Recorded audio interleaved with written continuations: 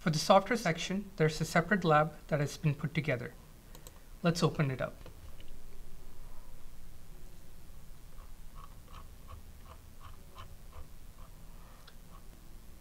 In this section, we're going to go beyond sysfs.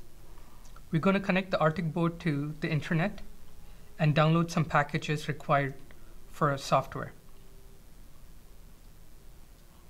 So the first step is to connect to an access point.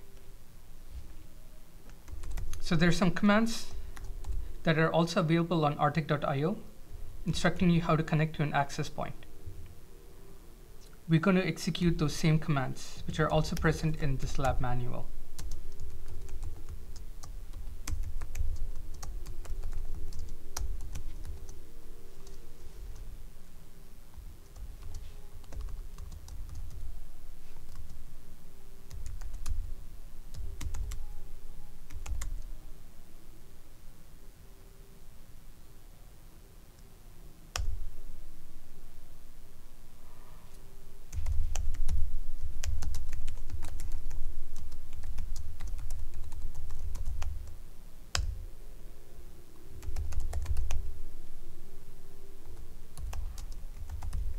The last step is to get an IP address.